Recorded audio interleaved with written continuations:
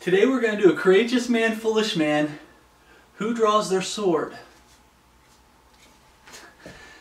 I bought this online, brothers and sisters in Christ. Uh, just wanted as uh, I thought I'd slowly try to collect different pieces of the set of, of armor. What I was trying to get what the Bible says the armor pieces. Like they always say, the belt. Uh, it's not a belt and the armor of God. It's you gird up your loins with truth, the sword. You gird up your loins so the sword can hook on there, and you have the sword of truth. And it's talking spiritually. Um, it's talking about the Word of God. Okay. When you gird up your loins with truth, it's called 2 Timothy 2.15, Study to show thyself approved unto God, a workman that needeth not to be ashamed, rightly dividing the word of truth. You study you put hide God's word. Thy word have I hid in my heart that I might not sin against thee. Okay? You take the word of God and you hide it in your heart and you live it. That's what girding up your loins are. You gird up your loins when you're doing work, study. You're girding up your loins when you're doing battle. Remember, for we wrestle not against flesh and blood, but against principalities, against powers, against the rulers of the darkness of this world, against spiritual wickedness in high places. Okay? So today we're going to talk about it. Who, draw this, who drew the sword? So turn to Matthew 26, 46. Turn to Matthew 26, 46. Who draws his sword?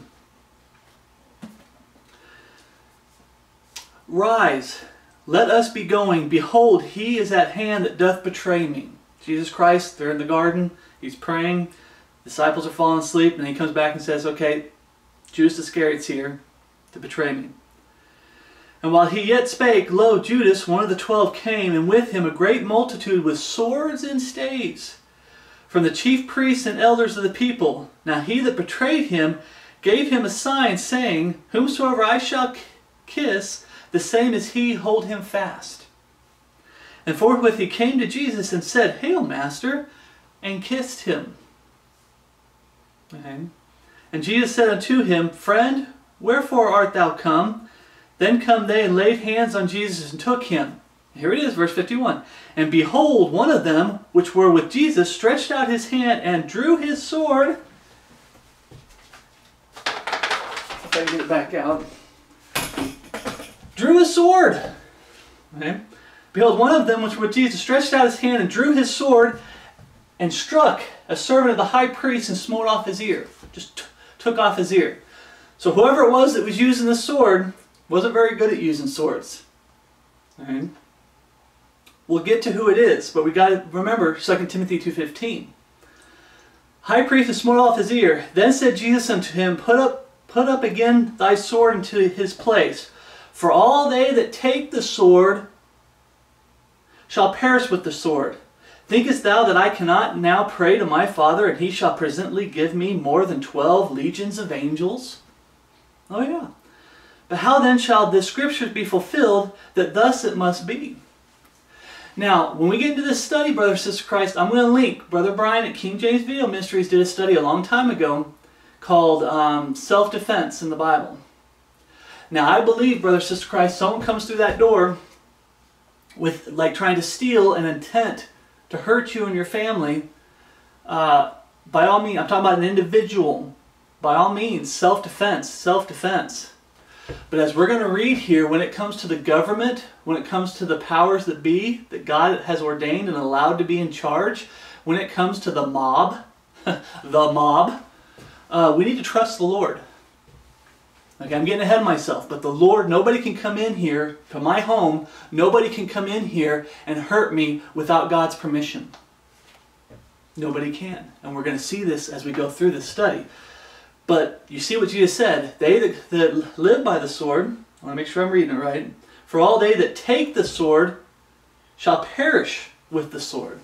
What he's saying is, is we're supposed to be defensively defending ourselves. Someone breaks in to steal, someone breaks in to hurt your family, defend yourself. But we're not supposed to be going out and being offensive. You're going to believe in Jesus Christ. You're going to do what the Bible says and blah, blah, blah. Hack. Hack, there goes another year. That's not what the Bible's talking about. That's false religion. That's Catholicism.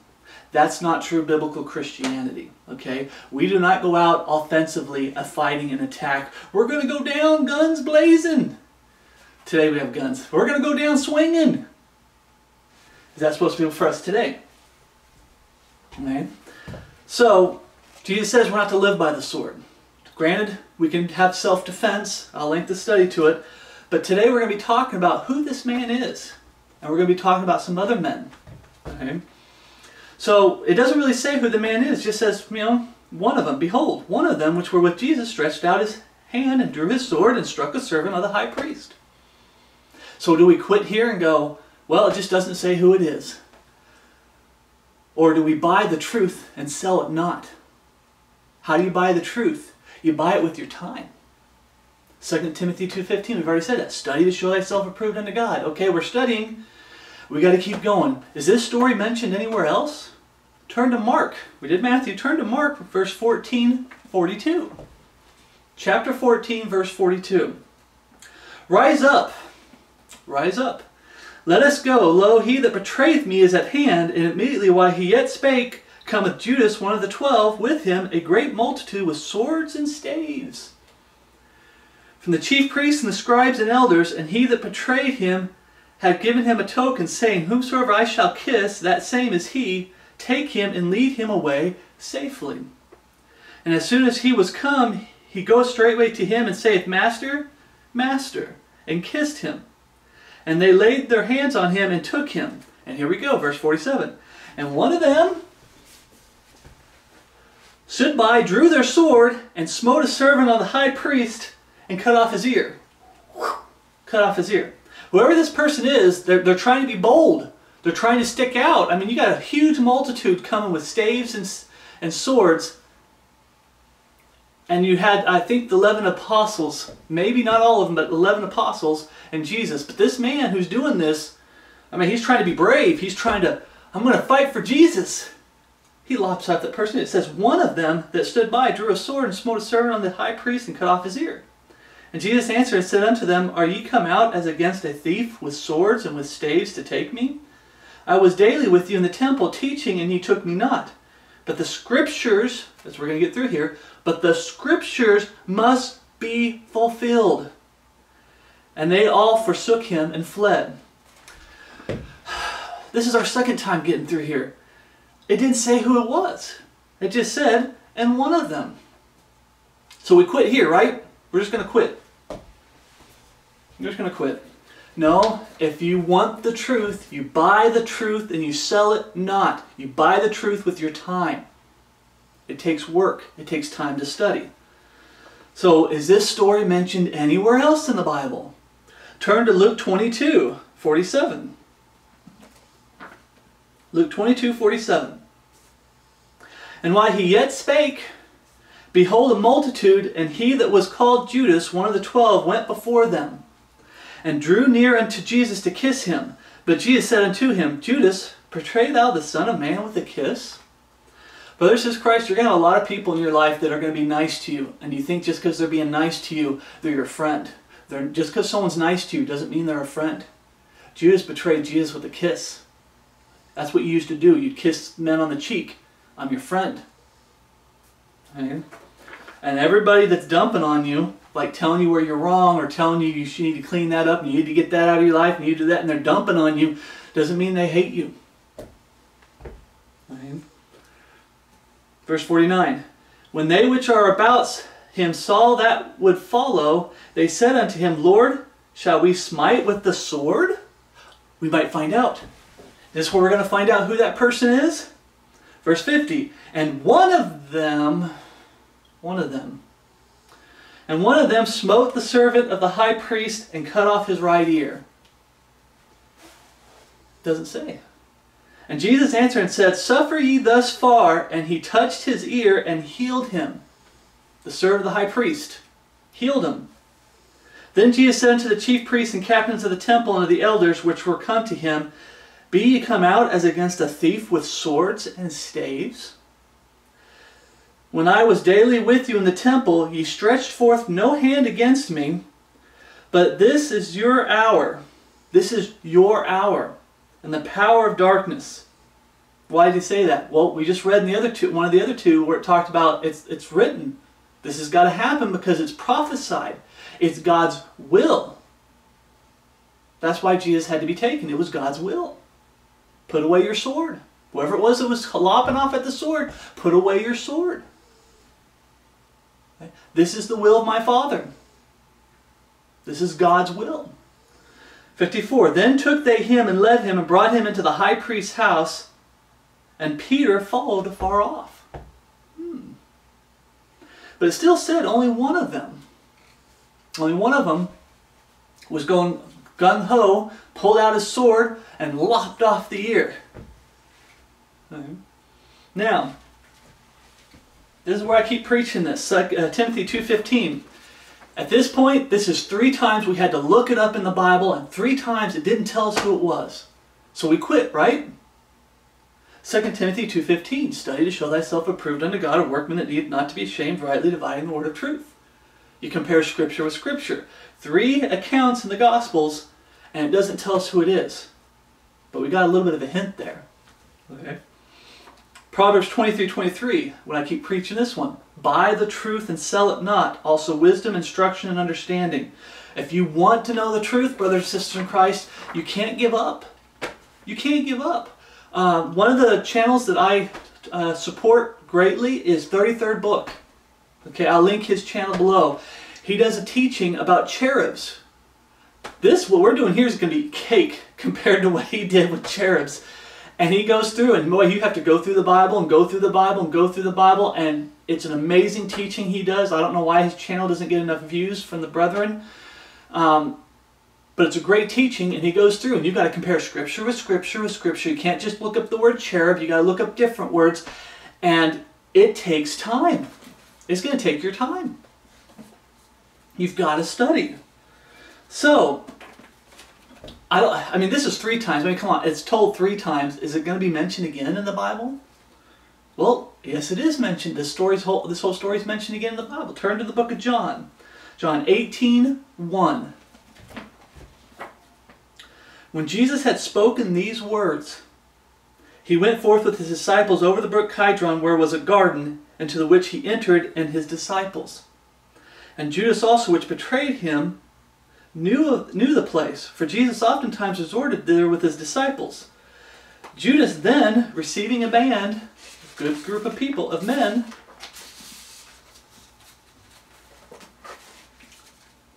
and officers from the chief priests of the Pharisees, cometh thither with lanterns and torches and weapons. See, now they're throwing lanterns, torches, and weapons. But remember, we know what the weapons are. When you compare scripture with scriptures, they came with staves and swords. Staff, staves of staffs, you know, like a shepherd's staff, and swords. Jesus, therefore, knowing all things that should come upon him, went forth and said unto them, Whom seek ye? They answered him, Jesus of Nazareth. Jesus said unto them, I am he.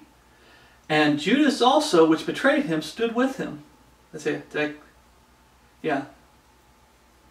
As soon as as, as soon then as he had said unto them, I am he, they went backwards and fell on the ground. Now there's all kinds of teachings people do, but the important part of this is this, for this teaching. If Jesus didn't want to be taken, they couldn't take him. Think about it. I am he. Come take me. I am he. They fall backwards onto the ground. Then asked, then asked he them again, Whom seek ye? And they said, Jesus of Nazareth. Jesus answered, I have told you that I am he. If therefore ye seek me, let these go their way. That they saying, that the saying might be fulfilled which was spoken of them, which thou gavest me, have I lost none.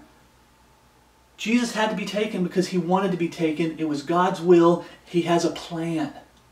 Remember that when we're doing this study. God has a plan. They could not have taken Jesus without his permission. Okay. Now here we go. Verse 10. Then Simon Peter, having a sword, drew it. We got it. Brother, sister Christ, we, we studied, we kept going, we didn't quit. We just found out who drew the sword. It was Simon Peter. Having a sword, drew, drew it and smote the high priest's servant and cut off his right ear. The servant's name was Mal- Malchus. We got more information. We got the servant's name and who it was. And we got told it was Peter. You mean Peter, the same man that when he was walking out on the water, he failed the Lord? When Jesus was walking on the water, Peter's trying to be bold. He's always trying to be bold. I mean, Peter's a fisherman. That's another example of why he got the ear and didn't actually get the guy. you know, he's not a warrior. He's not a soldier. He's a fisherman. He lops off the ear. But this is Peter. He was the one that said, Lord, if it be you, call me to walk out on the water with you. And he gets out on the water and he starts walking and he takes his eyes off of Jesus and looks at the world. The water, but the world. And starts fearing and not trusting Jesus. He failed to trust Jesus. He started sinking. Lord, save me! And within seconds, Jesus had his hand on him and they were in the boat. You mean this is the same Jesus, uh, Jesus, this is the same Peter that when Jesus told him about his death and how they were going to take him, he rebuked him and Jesus looked at him and said, Get thee behind me, Satan, for thou art an offense unto me, for thou savorest the things that be of men, and not the things that be of God. Peter had failed the Lord twice now. Twice he's failed the Lord big time in front of everybody. He's got to prove himself. I got to prove myself. And we find out later that did he fail the Lord a third time? He ends up denying the Lord three times. He failed the Lord three times when it came to trusting him It's just that simple, brothers and sisters Christ. But this is Peter, Simon Peter. We've, we've got the name. Verse 11 Then said Jesus unto Peter, Put up thy sword into the sheath. The cup which my Father hath given me, shall I not drink of it? It's prophecy. It's God's will. This is what God wants. If it wasn't, remember they fell backwards. Jesus said time time again, if I wanted, I could have a thousand angels at my side ready to fight for me. You read in the Old Testament how one angel, I forgot how much it was, it was like 180,000 men or something like that, just wiped out. I can have a, a whole legion of angels to protect me. He says, The cup which my Father hath given me, shall I not drink it? Then the band and the captain and the officers of the Jews took Jesus and bound him. And remember, the eleven scattered and ran. John 18:25 says, and Simon Peter stood and warmed himself. There said they said therefore unto him, Art not thou also one of his disciples? This is when he's denying Jesus three times. He denied it and said, I am not. Verse 26 And one of the servants of the high priest, being his kinsman, whose ear Peter took off. He was there, and it was at night time, so it, it might have been him. Might, I mean, uh, it's not as bright as we have today. They didn't have lights, they had torches and lanterns. Said, Did not I see thee in the garden with him? Peter then denied again, and immediately the cock crowed. This is Peter we're talking about. This is, I'm gung ho, I'm gung ho. Now, the point I want to make here is, is Jesus kept saying, Put away your sword. This is God's will. You have a sword to defend yourself, protect yourself. Okay? But there's some things in this world that's God's will. We got to remember that. They could not have taken them without God's permission. So, what's the whole point of this study? We're going to get to it here, okay? This is Peter before the crucifixion, death, burial, and resurrection of Jesus Christ. This is Jesus, or this is Peter before Jesus ascends up into glory. Okay? This is Peter before uh, Pentecost, before he gets the Holy Spirit. Okay? What's Peter's attitude after he gets the Holy Spirit? After God has, Jesus, God manifest in the flesh, teaches him some things. He gives him a chance to, he forgives him and gives him a chance to, hey, now go do the work of the Lord. Is this how you do the work of the Lord? No. How do you do the work of the Lord? Turn to Acts chapter 5, verse 16.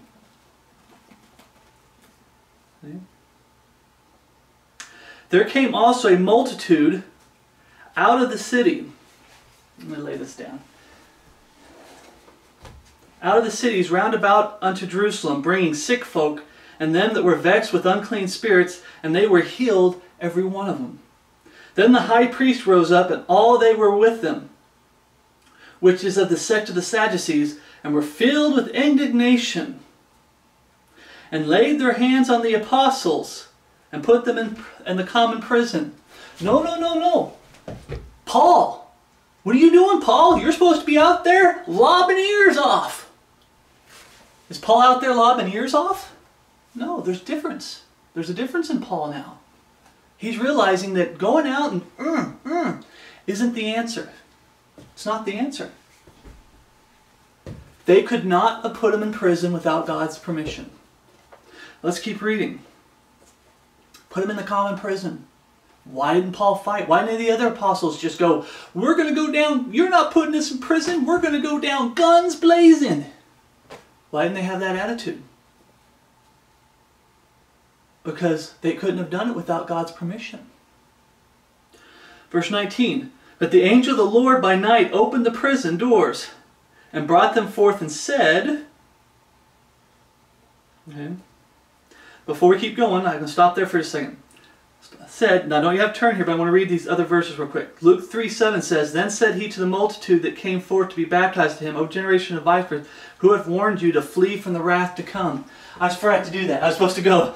Instead of them going, they're supposed to flee. When they go to grab you and everything, you're supposed to flee from the wrath to come. I'm supposed to read, flee from the wrath to come. Flee, save your lives, and be like the be like the heath in the wilderness. Mountains and rocks fall on us, hide us. Is that how Paul and them are supposed to be? You say you sound like a rambling, a rambling fool. Yes, I would. You can make the Bible say anything. Jeremiah 46, 8, uh, 48, 6 says, Flee, save your lives, and be like the heath in the wilderness. Revelation 16, if you knew that comment, where it says, Mountains and rocks fall on us, hide us. They're coming to get us, Lord. We, we either got to fight or we got to run, ah, and go crazy. No. They stood firm. We're doing the work of the Lord, and we're not going to stop doing the work of the Lord. Even if that means being put in prison. Okay? One of the biggest things I'm hearing among the brethren lately, brothers and sisters Christ, is people saying, oh, I'm going to go down guns blazing with what's going on out there. They come to my door, I'm going down guns blazing. Was that Peter's attitude? We're going to read a little bit about Paul. Was that Paul's attitude? James? Stephen? Right? No. Be very careful, brothers and sisters of Christ. If Paul and those 11 disciples, we're going to keep going, because it says, bring them forth. They're, they're going to get a chance to talk. We're going to keep reading this whole story. But if they would have went in there guns blazing, as, as we say today, with the sword out, and we're going to hack here, they would have died. That's it. Can't be used of the Lord anymore. Oh well. Evidently God can't protect you. You got to try to protect yourself. And I'm talking about against, this is against religious leaders. There's mobs that we're going to be talking about. The leaders of the day. God can protect you. Look what he did. He got him, broke him out of prison. And what did he tell him? Acts 5.20. Keep going. Go, stand, and speak in the temple to the people all the words of this life. He didn't tell them, flee, flee from the wrath to come. I just broke you out, run. You know, flee, flee, save your lives, and be like the heath in the wilderness. Run, hide in the wilderness. That's not what he said. He said, get back to the work of the Lord. Get back to abounding in the work of the Lord. Go back to doing what you're doing. These, I'm in charge. God's like, I'm in charge, not these people. Be of good cheer. I'm watching over you. I'm protecting you. Be of good cheer. Go back and stand the words of this life. And when they heard that, they entered into the temple early in the morning and taught. But the high priest came, and they that were with him, and called the council together, and all the senate of the children of Israel, and sent to the prison to have them brought. But when the officers came and found them not in the prison, and returned and told, saying, The prison truly we found, found we shut with all safety. Let that sink in. Okay.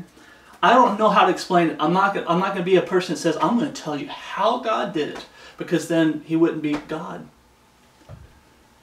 But what they're saying happened, I'm going to tell you what happened. Jesus opened up everything to the disciples and they left. And when the other people came back, it was back the way it was before Jesus broke them out. Everything was locked shut, tight as can be, as if nothing happened. It was as if the apostles were never there in prison. You know, know what uh, Paul says? Uh, I'm a prisoner of Jesus Christ. No, he's a prisoner of the Roman. No, I'm a prisoner of Jesus Christ. Mm-hmm. He's there because Jesus wants him there. They were thrown in prison, and Jesus is like, I, I don't want them in prison. I want you back out there doing the work of the Lord, doing my work. Verse 24 Now, when the high priest and the captain of the temple and the chief priests heard these things, they doubted of them whereunto this would grow. Then came one and told them, saying, Behold, the men whom ye put in prison are standing in the temple and teaching the people. Then, when the captain with the officers had brought them without violence, for they feared the people, I think part of this also helped out with how they treated the apostles. At first, they just threw them in like they're nothing. Then, when they saw, wait a minute, how did this happen? They were in prison and now they're back out there. And the people are even, they're swaying the people to believe in Jesus Christ. They're swaying the people, and now they're going to have to, they're fearing the people. For they feared the people lest they should have been stoned. And when they had brought them, they said, set them before the council, and the high priest asked them, saying, a lot of pages. Did we straightly did we straightly command you that ye should not teach in this name? And behold, ye have filled Jerusalem with your doctrine and intend to bring this man's blood upon us? Jesus Christ. They're guilty. The Jews are guilty.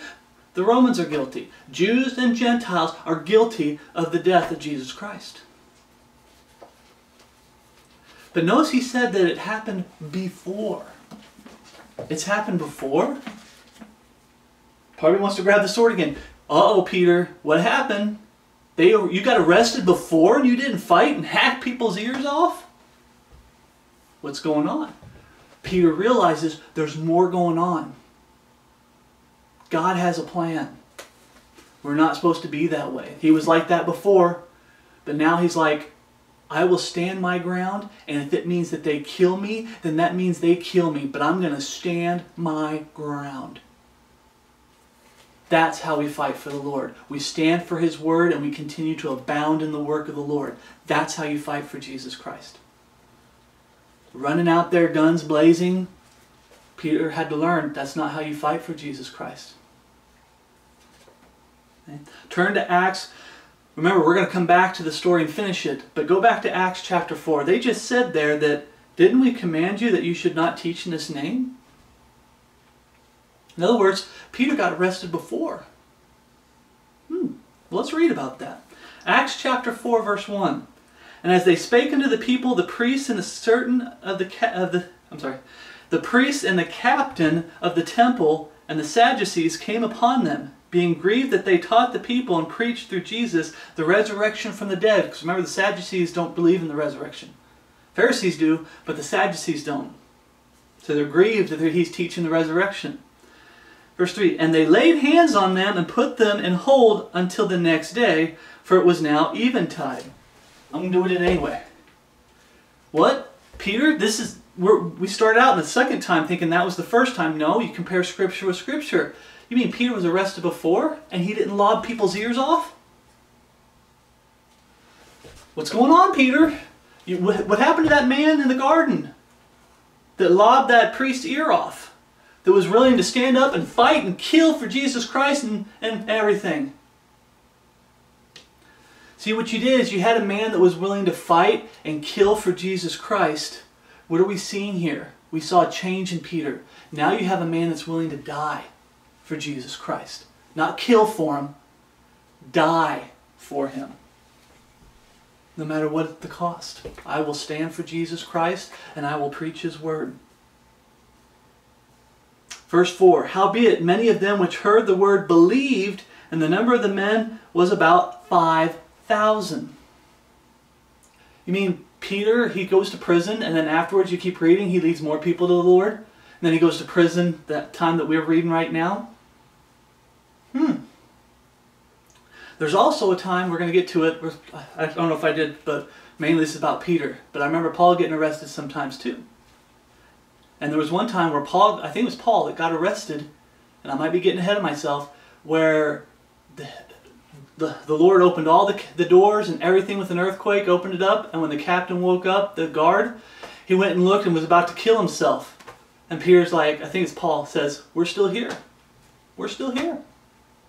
Don't kill yourself, we're still here. And he led that man to Christ. How could he lead that man to Christ if he would have went down guns blazing? I'm going to pull out my sword and hack off ears. Couldn't. We see people getting saved.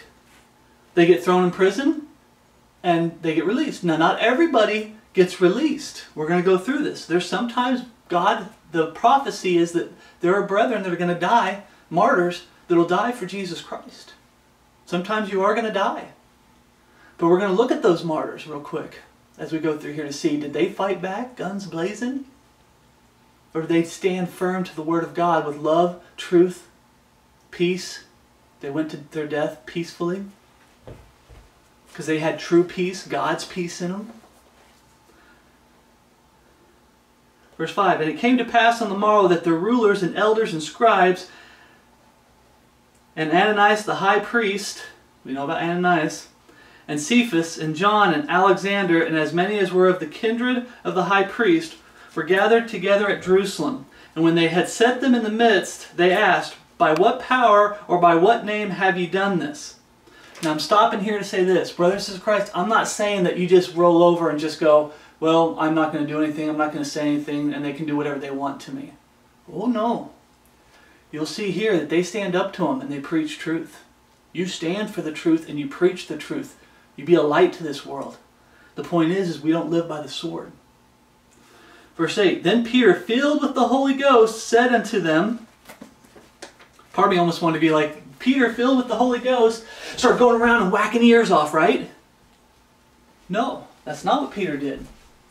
What did he do? Being filled with the Holy Ghost, said unto them, Ye rulers of the people and elders of Israel, if we this day be examined of the good deed done to the, impo the impotent man, by what means he is made whole, they did a miracle, be it known unto you all, to all the people of Israel, that by the name of Jesus Christ of Nazareth, of whom, whom ye crucified, whom God raised from the dead, even by him does this man stand here before you whole. He's filled with the Holy Spirit and he starts telling them about Jesus Christ. He's not filled with the Holy Spirit and I'm going to grab a sword and go start lobbing off ears. He's not filled with the Holy Spirit and I'm going to grab my guns and I'm going to go down guns blazing. He preaches Jesus Christ. This is the stone which was set at the knot of the builders, which has become the head of the corner. Remember, Jesus is our foundation. He's also the head of the corner. Starts with Jesus, ends with Jesus. That's the life of a Bible believing, God fearing man. Through his word, it starts with Jesus, it ends with Jesus. Verse 12 Neither is there salvation in any other, for there is none other name under heaven given among men whereby we must be saved. That's a memory verse. Paul is preaching salvation to him.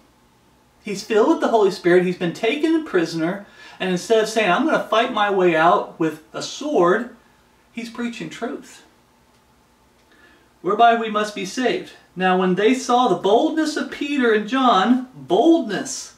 These are this is Ananias the high priest. Don't you remember him with Jesus? Yeah. He's bold. He's got the Holy Spirit in him and he's speaking boldly. I'm not saying you have to be a coward. I'm just saying you stand firm for the Word of God. what's going on out here in the world today? You stand firm. You stand to absolute truth. You stand your ground. But we are not to live by the sword. Saw the boldness of Peter and John, and perceived that they were unlearned and ignorant men, they marveled. And because remember, Peter's a fisherman. He couldn't even hit the person properly, and they only got an ear. He doesn't know how to use a sword. He's not a warrior. He's not a scholar. He's a fisherman. They saw the boldness of Peter and John and perceived that these were unlearned and ignorant men. They marveled, and they took knowledge of them that they had been with Jesus. And beholding the man, that they had been with Jesus, you mean there was evidence? We're supposed to be a light to the world? There's supposed to be a changed life after salvation, so people look at you and go, wow, Jesus has really touched that person. You re- he really saved you. Amen. He really saved me. If you'd have saw me before I got saved, you would have looked. You wouldn't have seen Jesus at all. That person, oh, he doesn't know Jesus. I was a professing Christian. I like to call myself a Christian, but I was no Christian. Verse 14, In beholding the man which was healed standing with them, they could say nothing against it. But when they had commanded them to go aside out of the council, they conferred among themselves, saying, What shall we do to these men? For that indeed a notable miracle had been done by them is manifest to all them that dwelleth in Jerusalem.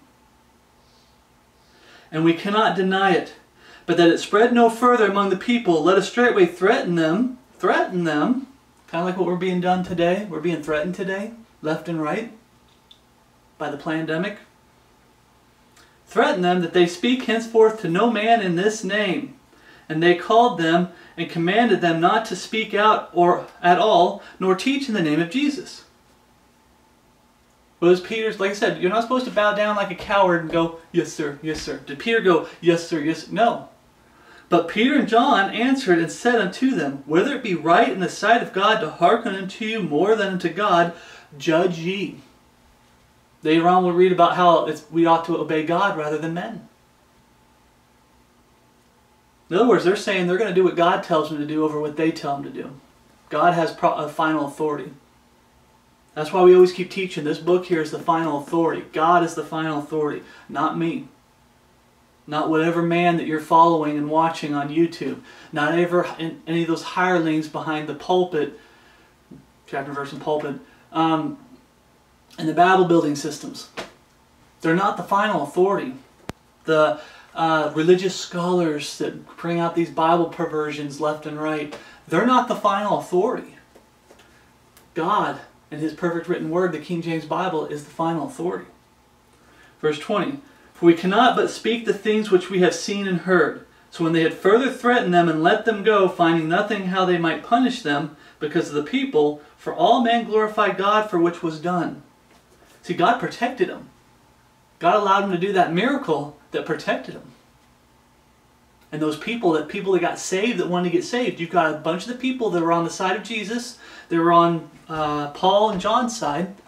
They had that miracle was done. God had everything set up perfectly to protect them. Which was done, verse 22, For the man was above 40 years old on whom this miracle of healing was showed. And being let go, they went to their own company and reported all that the chief priests and elders had said unto them. And when they heard that, we get bitter.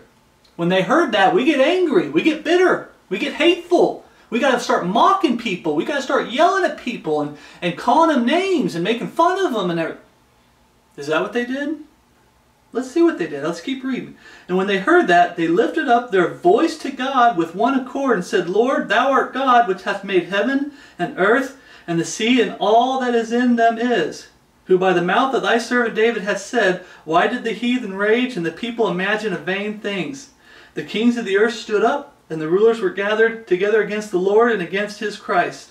For of a truth against the holy child Jesus, whom thou hast anointed, both Herod and Pontius Pilate with the Gentiles and the people of Israel were gathered together, for to, for to do whatever they, thy hand and thy counsel determined before to be done.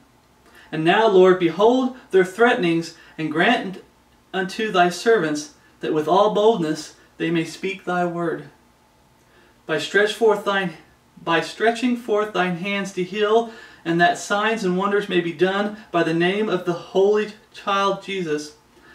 And when they had prayed, the place was shaken with their see, the place was shaken where they were assembled together, and they were all filled with the Holy Ghost, and they spake the word of God with boldness. Another time they prayed, we're getting to the point where they praised God. So what did they do? They were threatened. Lord, brothers and Christ, we're being threatened by this world today. There's always something out there threatening the body of Christ. If it wasn't this pandemic, it'd be something else. There's always been something out there threatening the body of Christ. What do we do? When anytime we suffer for Jesus Christ and His name's sake, we give God glory. We praise the Lord. And when we're gonna we're getting threatened like we are now, where they could come into this home right now, we pray for God's protection. We pray that the Lord distracts them from the body of Christ. Let the lost world just fight each other and devour each other. This lost world that's just rejected Jesus Christ left and left, right. While that's going on and they're devouring one another, people might start waking up, and they have. People will start waking up. People are more open to the truth. It's the seeds that have been planted, you can be the one to water that seed, and someone gets saved and born again. But we're not supposed to have bad attitudes. We're not supposed to hold grudges. We're not supposed to be, even to, when it comes to the enemy. These guys were enemies. We saw the list. The, that's like public, when it comes to Bible believers, those are public enemies. Public enemy number one, you know. But they're praying that they can speak boldly, continue doing the work of the Lord, that God will protect them. Go back to Acts chapter 5, verse 29. Back to the second time they were arrested, and they just got told, Did we not tell you not to preach in this name? This is the second time. And like I said, I, I, can keep grabbing this to make my point because I really want to drive this home, brothers and sisters. Where is Peter hacking off ears? He did before. Why isn't he doing it now? He's hacking off ears before. I'm willing to kill for you, Lord. But then it got to the point where Jesus said, Feed my sheep, because he denied him three times. Feed my sheep, feed my lambs, feed my sheep. I hope I got that right. But three times, he's like, That's how you fight for me by living for me. I've always pushed this, brothers and sisters Christ. I've always pushed this. To live, the Bible says, to live is Christ, to die is gain. Why is that? Because as we're God's the one that decides whether it's time to come home or not. He's the one that decides whether you die or not. God does. So until that happens, we're to live for Jesus Christ. You know, there was a time where people would live for Jesus Christ, but they had a hard time dying for Jesus Christ.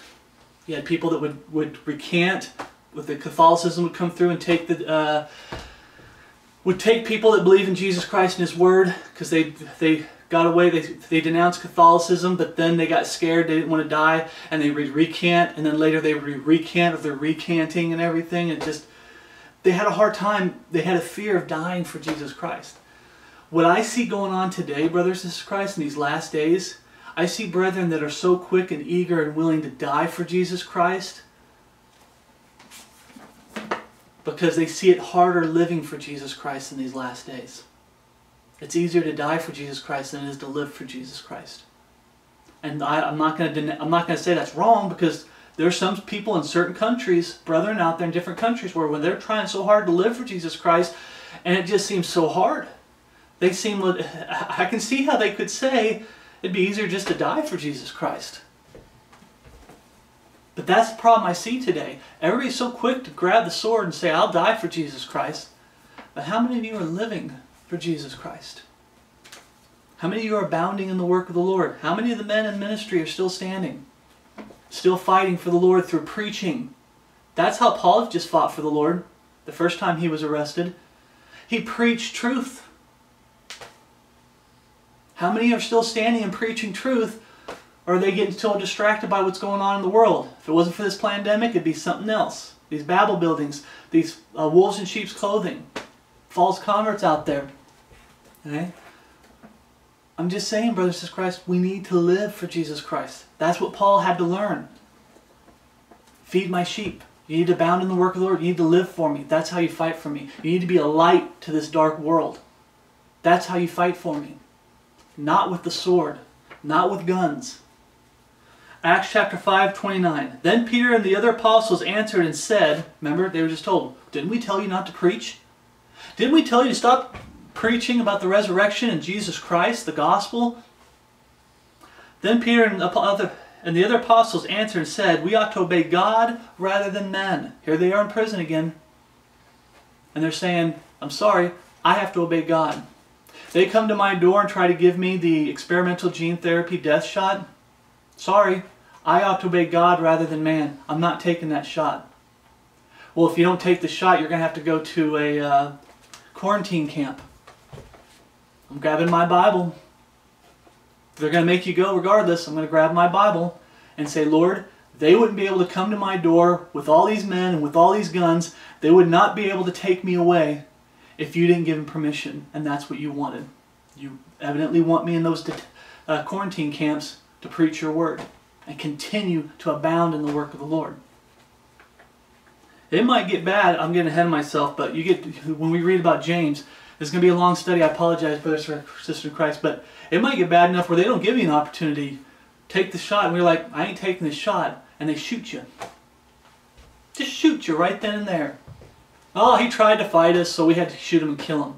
And God allowed it to happen. Okay? It's God's will. But we ought to obey God rather than man. He just stands up to him preaches truth to him.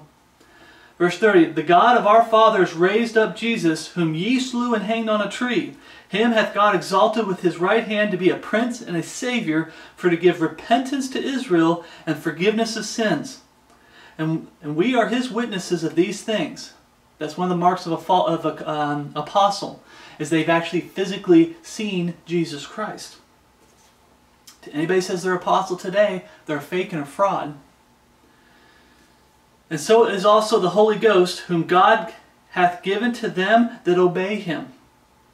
When they heard that, they were cut to the heart and took counsel to slay them. If I have to die, I'm going to die. But I'm going to die preaching the truth.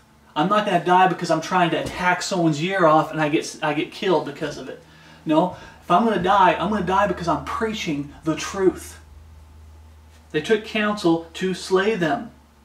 Then stood there up one in the council, a Pharisee named um, Gamaliel, a doctor of the law, had a reputation among the people, so God raised somebody up that had reputation. In other words, there was a little fear for him. They feared him a little bit.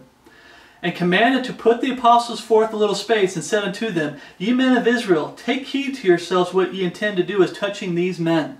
For because these days rose up Theudas, boasting himself to be somebody, to whom a number of men, about four hundred, joined themselves, who was slain. And all, as many as obeyed him, were scattered and brought to naught. After this, man rose up Judas of Galilee in the days of the taxing, and drew away much people after him. He also perished. And all, even as many as obeyed him, were dispersed. Verse 3 And now I say unto you, refrain from these men, and let them alone. For if this counsel be the work of men, it will come to naught. But if it be of God, you cannot overthrow it. Think about that. Uh, the scriptures, when we read about Paul, uh, Peter, when he first grabbed his sword to lop off ears, I hope I've been saying Peter. Sometimes I keep slipping up and saying Paul, Peter, Paul, P, P, P, both P's. Peter lopped off the ear. Remember we said let these these people go their way because the scriptures were fulfilled. Uh, my he hadn't he didn't lose any of his apostles. The scriptures were him. But if it be of God, Peter, first time they were arrested, got out. And there's stories of, of, of Paul when he was arrested that God protected him and watched over him. If this work be of men, or but if this be of God, you cannot overthrow it lest haply you be found even to fight against God. And that's my verse for what's going on out there today, brothers and Christ. God is bringing that apart, uh, bringing that uh, about. God's wrath and God's judgments on this nation, it's on every nation. God's bringing everything about. The catching away of the body of Christ is coming. It's coming. And if you're not looking for it with the life that you're living, you're going to be caught by surprise big time. I don't know when it's going to happen, so I'm going to be surprised too. But I'm talking about you're going to be caught big time surprised because you're going to be on a, falling flat on your face and not in a standing position because you're not looking for Jesus Christ to come back every day with the life that you're living. Okay? But we look out there and people are like, we need to get swords, we need to get guns, we need to do an army, we need to fight, fight, fight. Are you going to fight against God? He's the one allowing all this to come about. Are you going to fight against God? And with what army? Okay? Some people have been, it's one of the movies I do like, and it's called Oliver Cromwell, um, and it's based off a true story, but I think some people have been watching that movie too much. Okay, it's not the same situation as today as it was back then with them. Most of the country were Bible-believing, God-fearing men, and they had a king that betrayed them to Catholicism. today, I, would be nice and say 10% of Americans. I'm just going off the American population, not the world. But 10% of Americans are saved, but only 4% of that 10% is still in a standing position. The Bible says in these last days there shall be a falling away first. I've seen great men of God fall away. Okay? I've seen them. I've seen great men of God get messed up. But there's like 4%, let's say 4% of the American population, and that's still way too high, I think. But they're saved. That's not enough. It's not the same situation as Oliver Cromwell. This nation is not God fearing, it's God hating. This nation as a whole hates the real Jesus Christ, our Lord and Savior, the Lord Jesus Christ. They hate the real capital G God. They hate him. It's not the same situation. What's going on out there says, But if it be of God, you cannot overthrow it, lest haply you be found even to fight against God. Well, we're going to go over and we're going to stop this whole stuff from happening by force with swords and, well, today's guns. You're going to overthrow what God's doing. You're going to fight against God. He's bringing this about. He's allowing this to happen. He wants it to happen. A judgment on this nation. Judgment on all the other nations. He's bringing about the uh, time of Jacob's trouble. He's letting all the pieces get into place. Verse 40, And to him they agreed, and when they had called the apostles and beat them, they commanded that they should not speak in the name of Jesus and let them go. They beat them. They could come to my door and knock down my door and take me to a, uh, uh, they want to call it a concentration camp, but that's not what it was called. Uh, Brother in Christ showed me some pictures, and I don't know what I did with them, so you're going to have to look up online if they're still there. Um, but there were some pictures back in the World War II, uh, Germany, Nazi Germany, where they had signs where it said detention camp, uh, not detention, um, quarantine camps. They were called quarantine camps all through the Holocaust. Those Jews, there's something wrong with them. We've got to quarantine them. There's something. There's just there's something wrong with them. We got to quarantine them. Oh, you're a German and you sympathize with the Jews. Now you've got the same sickness and we need to quarantine you. See how that works? It was quarantine camps. They come to my door and they send me to a quarantine camp and beat me, like here where they saw my beat. They, whatever they try to do to me, it's not going to stop me from preaching truth. It's not going to stop me from preaching absolute truth. Let's look what Paul's attitude was. And they departed from the presence of the council, as after they were beaten, rejoicing that they were counted worthy to suffer shame for his name. Some of the brethren in ministry out there have forgotten that. They still make snide remarks towards the lost world, uh, mocking, um, cutting up videos and stuff like that. Um, that's not how we're supposed to act. When someone has persecuted you, made fun of your ministry, which is God's ministry. They're actually making fun of Jesus. They're making fun of God. It's God's ministry. It's not my ministry. He just blessed me with being in it. It's Paul said that this is my ministry, and Paul was an apostle to the Gentiles. And he said, Be followers of me as I am of Christ. See, I'm doing my best to follow God's words, to follow Paul and follow Jesus, because Paul was the apostle that Jesus himself appointed to the Gentiles. This is God's ministry. So when they come down on me and they've made fun of me, they've made videos attacking me, they've called me names, you praise the Lord. Thank you, Lord, to count me worthy to suffer for your name's sake. Praise the Lord. But some of the brethren have forgot that, and instead of having joy and praising God, they're starting to get bitterness to build up in their heart. They start getting pride. They start having hate. That's not how we're supposed to be. Paul did not sit here and just start going off on those people that arrested him, start calling them names and, and everything. No. What did he do? He started praising God. And they departed from the presence of the council, rejoicing that they were counted worthy to suffer shame for his name.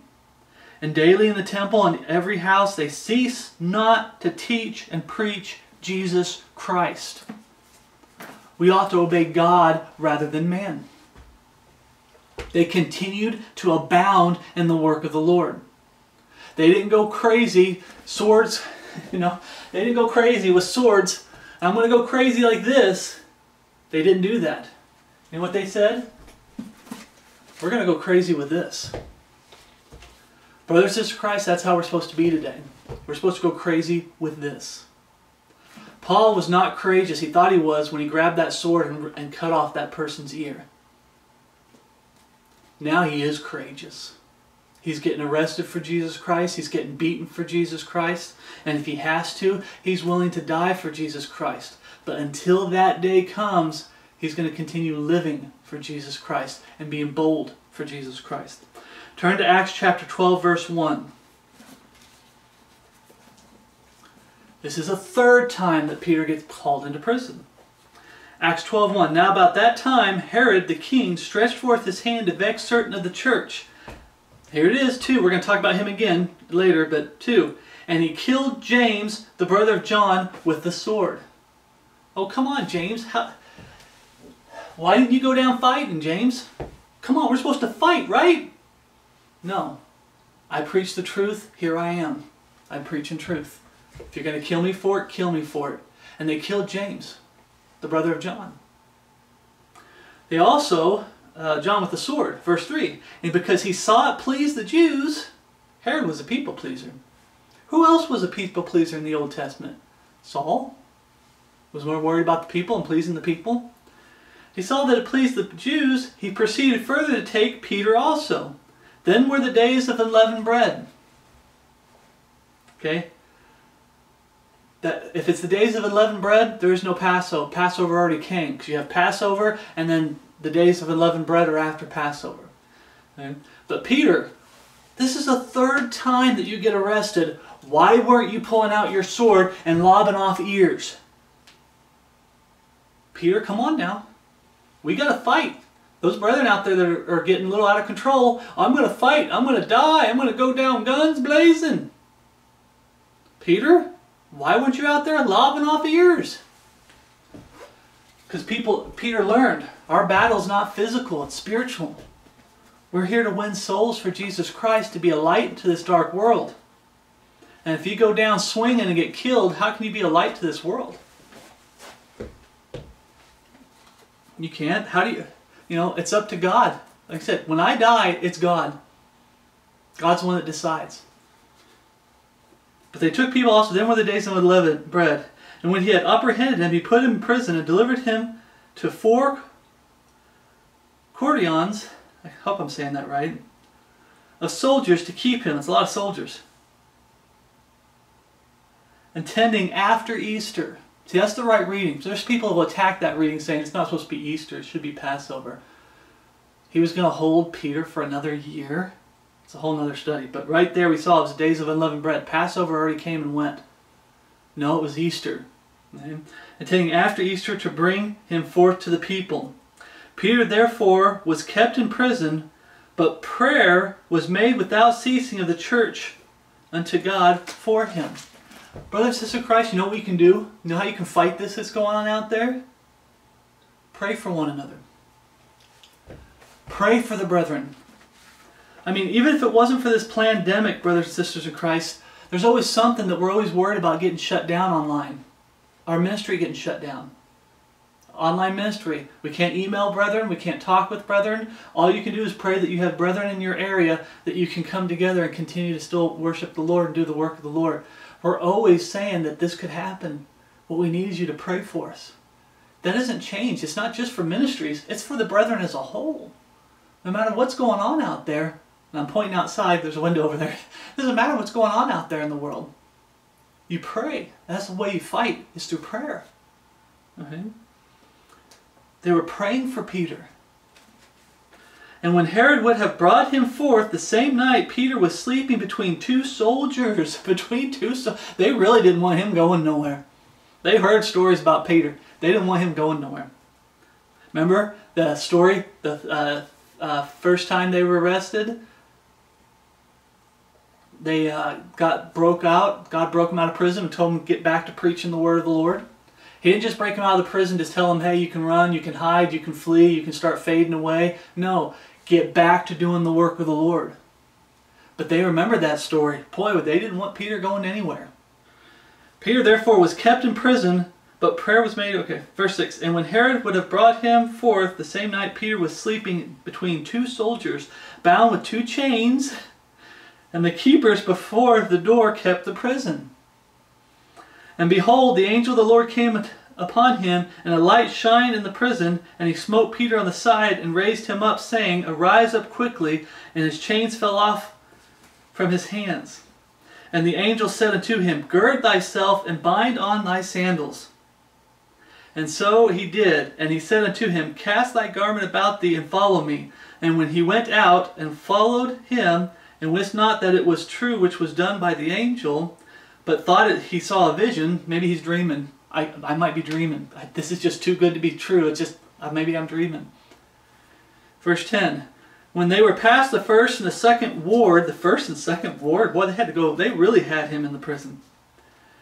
They came unto the iron gate that leadeth unto the city, which opened to them of his own accord. And they went out and passed on through one street, and forthwith the angel departed from him. And when Peter was come to himself, he said, Now I know of a surety that the Lord hath sent his angel, and hath delivered me out of the hands of Herod, and from all the expectations of the people of the Jews. What do we get from this, brothers and sisters Christ? A, they could not have, Herod could not have arrested Peter without God's permission. He couldn't.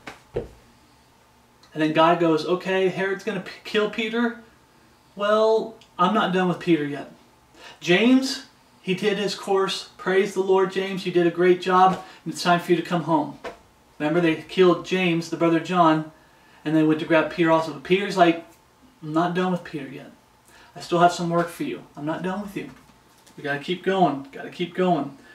Um, and God broke Peter out of prison. He didn't break Peter out of prison so he could go back to hiding. Okay, now go into hiding. No, he broke him out of, out of uh, prison so he can get back to doing the work of the Lord. And if you keep reading the story, the, I think it's this one, that the guards, when Herod found out that Peter wasn't there, he had the guards killed. And when you get to the story about Paul, when he's arrested and the guard's about to kill himself, why is he going to kill himself? Because if all the prisoners are gone, that's they're going to kill him. That's his punishment for not making sure the prisoners were stayed under guard. Okay, it's a serious thing. Ephesians 6:12 For we wrestle not against flesh and blood, but against principalities, against powers, against the rulers of the darkness of this world, against spiritual wickedness in high places. Our battle is spiritual, brothers and sisters in Christ.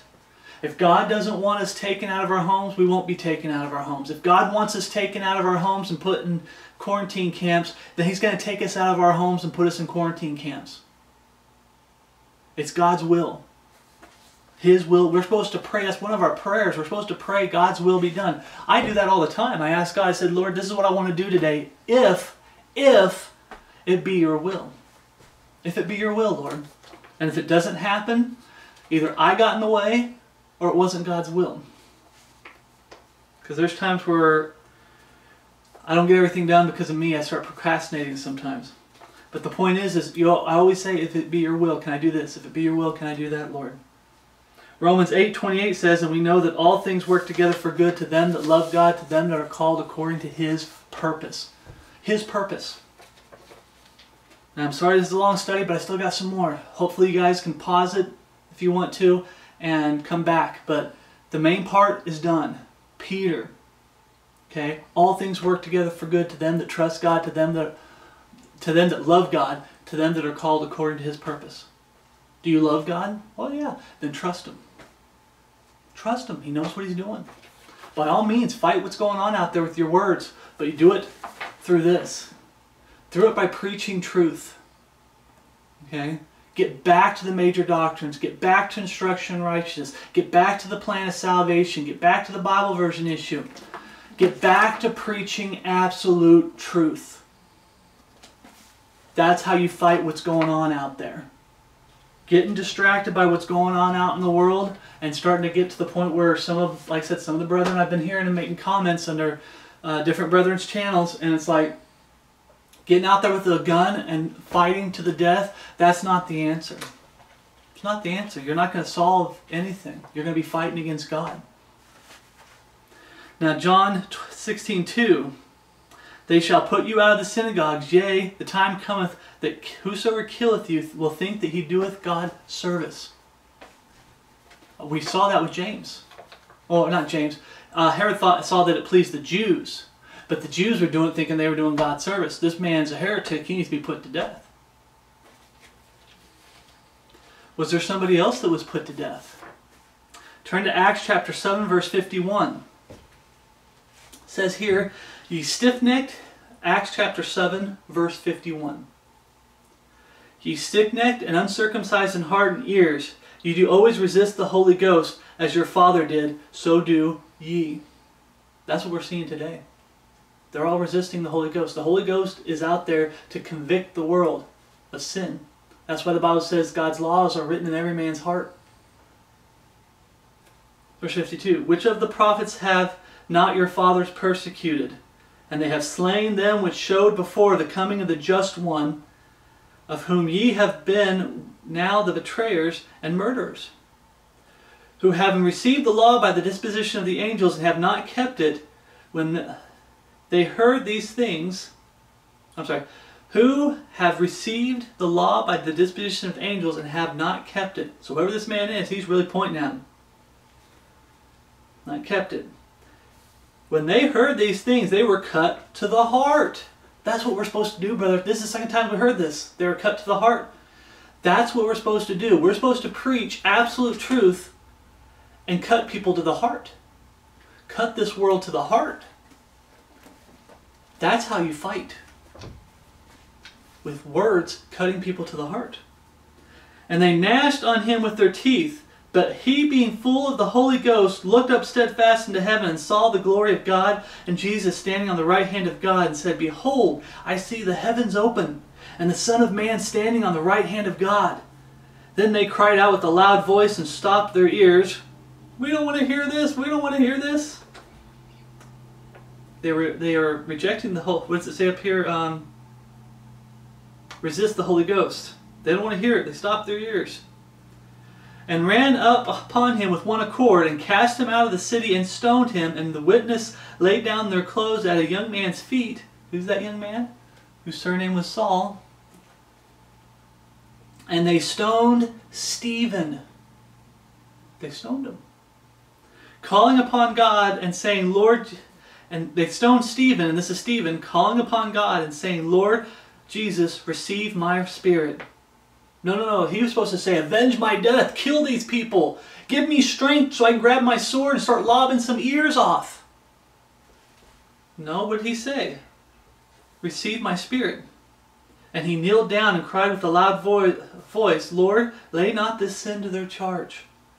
And when he had said this, he fell asleep. You know, you have Saul sitting there who was deceived because he talked about before when Saul later becomes Paul, he talks about before he did it in unbelief. You have certain people out there, brother and sister in Christ, that are wolves in sheep's clothing that are deceiving people. And those people that are deceived, we need to do our best to reach them. We're not, in these last days, are we going to hardly reach them? I don't know. That's between God and them. But we're supposed to preach truth because I understand there's certain leaders that are going to lead people astray. And I believe that's what Stephen felt. He's like, some of these people here were starting to listen to me.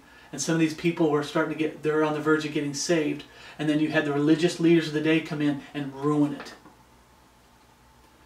Someone else might come along. If, if, if he was said, kill them all, Lord, they'd go to hell. But I believe Stephen realized that, hey, there's some of them that might still get saved. Lord, please lay this not to their charge. Give them as, I always pray that. Give them as many opportunities to get saved as possible. But once again, you see Stephen. He's not having that attitude of we need to go down, guns blazing, and waving his sword around, and so they, they'll shoot arrows at him or stab him or kill him. In other words, they don't come quietly so they get killed in the process of them trying to take him away. Uh, James, we read about James in Acts 12.1. It says, Now about that time Herod the king stretched forth his hands to vex certain of the church, and he killed James, the brother of John, with a sword. Those are the two people we actually read about in Scripture that actually were martyrs that died for Jesus Christ. We get told how Peter died, but it doesn't really say it. We get told how Paul died, but it doesn't really say it. We know Paul wrote his letter saying, My time is about to up. My time's coming. He's going to be put to death.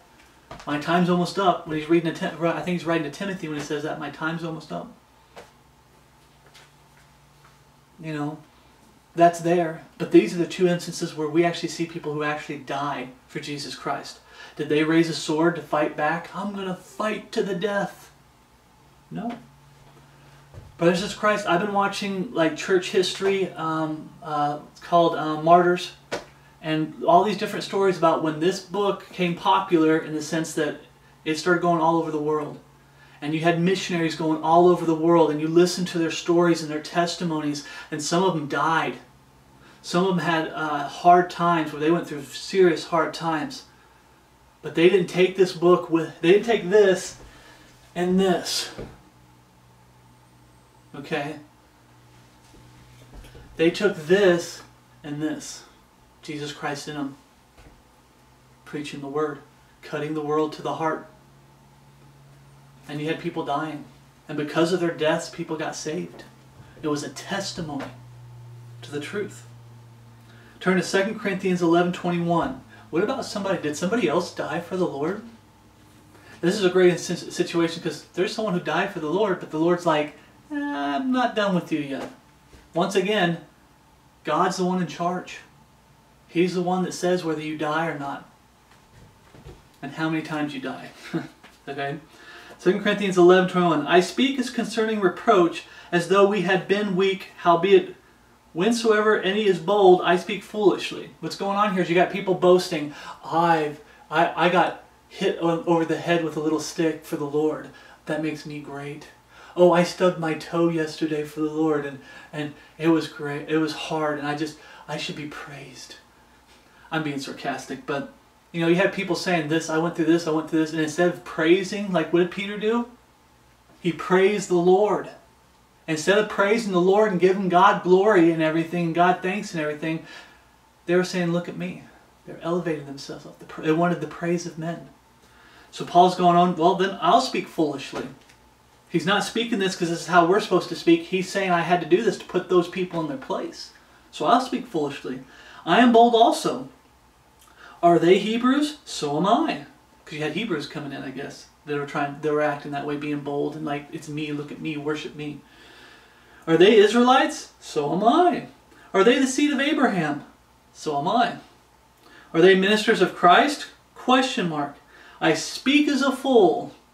I am more in labors more abundant, in stripes above measure. He was beaten a lot. Oh, come on, Paul. Why didn't you grab out your sword and start lobbing off ears? He was beaten. In prisons more frequent.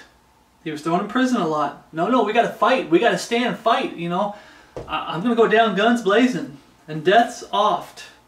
Death's oft. You mean Paul died more than once? Just something to think about. Now I want to stop there for a second. I understand for a single man like me, I can have more boldness. I want to say this. I understand for the brethren out there that have wives, that have children that are saved, and you worry for your wife and your child, but we still need to have the same attitude. And I can understand how it's harder for you guys because you love them and you, you're, you're to protect them. But like I said, self-defense. Protect them. But when the lost God hating world comes for us, we're not supposed to be living by the sword. Okay? We're not supposed to be living by the sword at all. Look what Paul went through. Death's oft. Of the Jews, five times received I forty stripes, save one. Five times. He was really, he's saying five times I was really whipped. You've never been through that. These people that were coming in saying, look at me, worship me, worship, look what I've done for God. Look what I've been through for God. He's putting them in their place. Thrice was I beaten with rods, once was I stoned.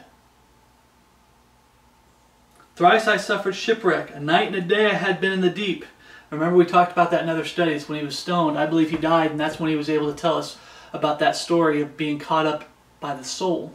The body stays behind because you die and you get caught up in the soul and he tells us about that man I, I knew a man once that whether in the body or out of the body, I cannot tell. It's because he got a glimpse of heaven. And then God's like, I'm not done with you. And he gave him that glimpse to let us, to give us hope. To live as Christ, to die as gain. To be absent from the body, present with the Lord. Dying for the Lord is, is a great thing. It is. when God when call when God I repeat when God calls us to. Not when we take it upon ourselves. When God calls us to. Verse 26 In journeyings often, and perils of water, and perils of robbers, and perils by mine own countrymen, and perils by the heathen, and perils in the city, and perils in the wilderness, and perils in the sea, and perils among false brethren. Paul used to cry night and day with tears for three years because wolves in sheep's clothing were coming in and messing up everything he had done, all the work he had done for the Lord. They were messing people up, and he was crying night and day with tears for three years. Talking about being perils among false brethren. You have false brethren coming in and messing things up. That's what I meant by you have wolves in sheep's clothing that'll come in and scatter the flock. Well, that wolf in sheep's clothing, I've like, Paul got saved. Uh, yeah, Paul got saved. Who used, who used to be Saul.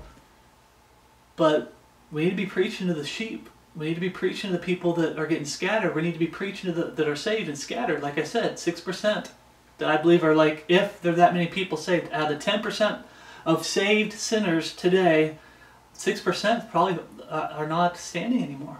They're falling flat on their face. They're part of the falling away. Right? Why? Because perils among false brethren, wolves in sheep's clothing is what we're fighting today. It's a spiritual battle. And weariness and painfulness, and watchings often, and hunger and thirst, and fastings often, and cold and nakedness. Besides those things that are without, that which cometh upon me daily, the care of all the churches.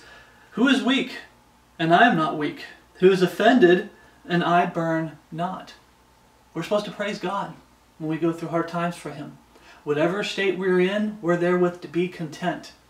Financially, physically, we're to be content and give God glory and thanks in all things. We're not supposed to be offended. We're not supposed to be getting bent out of shape. We're not supposed to be having the attitude, I'm going to grab my sword and go to war, like a physical sword. This is the sword you grab and go to war. But you're not supposed to be grabbing your guns and everything and going crazy. If I need must needs glory, I will glory of, of the thing which concern mine infirmities. The God and Father of our Lord Jesus Christ, which is blessed for evermore, knoweth that I lie not. In Damascus the governor under Aretas, the king, kept the city of the Damascenes with a garrison, desirous to apprehend me, and through a window and a basket was I let down by the wall and escaped his hands. God said, I'm not done with you. I'm going to provide a way out.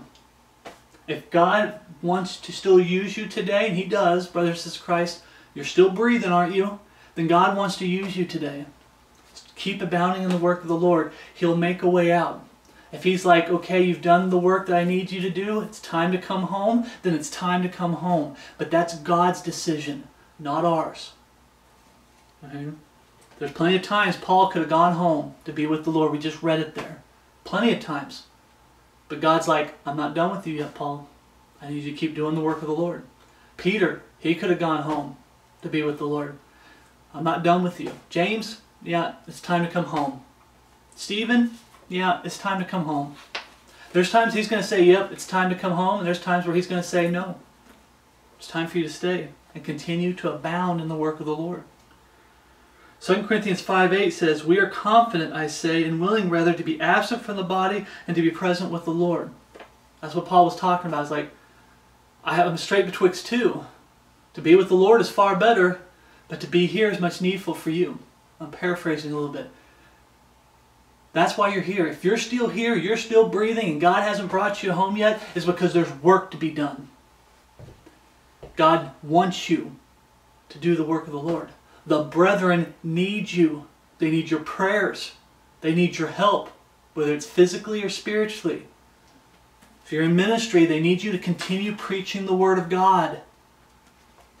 Standing firm. That's why you're still here. There are times when you will stand for Jesus and His Word and be killed. We talked about that. And there will be times where God will say no, say not now, and spare you. Brothers and sisters in Christ, I apologize. I try not to do such long studies. But, brother, God really put it on my heart. We'll get back to our, our study about is the Mystery, and we're going through all the different mysteries. Okay? But God put on my heart to put this study out because I'm starting to hear brethren out there that are getting gung ho and they're trying to get rile up the other brethren to get physical when that's not what God's talked once called us to do. We're supposed to be piercing people's heart with this sword. This is our weapon. And that's why it's so important, brothers and sisters Christ, that you stay in this book, the King James Bible for English speaking people. You stay in God's Word. You read God's Word. You need to know this book. You need to know this book. You need to hide it in your heart. This might get taken away, and you got to have scriptures in your heart. Memorize scriptures and apply them to your life. This could get taken away. It's just a physical book. It's the words that matter. That's why you got to hide them in your heart. I don't know how tough things will get, but I believe that we're supposed to look for Jesus to come back every day with the life that we're living. And you can always see the brethren out there that aren't looking for Jesus Christ. How? By the life that they're living. They're not living as strong as they used to. They're starting to slow down. They're starting to get weak. They're starting to fade out. They start going the way of the world. And we've had a great, we have this falling away. I almost want to say great, but Bible says there shall be a falling away first. There's people falling away, brothers in Christ. I keep praying with all my heart to the Lord that I don't want to be one of them. And that I keep standing for the Lord. And I pray that prayer for everybody that's standing. I also pray this prayer that maybe this pandemic that's going on out there is a way to wake the brethren up. The brethren that were like a couple years ago that were sleeping, they're not dead, dead, because usually in the Bible sleeping is dead. I'm talking about they're just they're they're laying on the job. You ever heard that saying where they're sitting on the job and laying on the job? They're not standing at their post. They go and sit somewhere and lay down and start eating food, just goofing around and everything. That's what the Christians are doing. They're falling. And if this is what it takes to wake the brethren up, to get people to stand back up, those few of us that are left, to stand back up and do the work of the Lord and get back to getting our testimony back. You can lose your testimony. To get back to trying to get some more rewards. Get back to being there for the brethren, praying for the brethren, helping the brethren out. If that's what it takes, praise the Lord. We give God glory in everything, brothers and sisters in Christ. Everything. Okay? Please, please, brothers and sisters in Christ, remember what our weapon is. It's this the Holy Spirit in us. Through His Word, we're piercing hearts. We're supposed to pierce people's hearts and they can get angry enough to kill us. We read about it. They can get very angry enough to ki- want to kill you, brothers and sisters in Christ.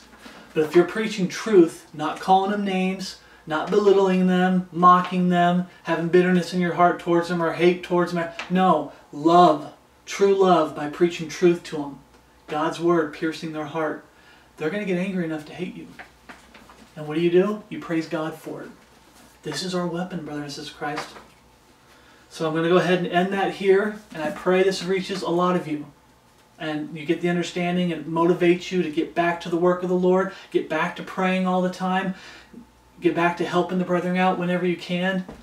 Okay? I pray that this really motivates you to start fighting with this weapon here, the word of the Lord, and start piercing hearts.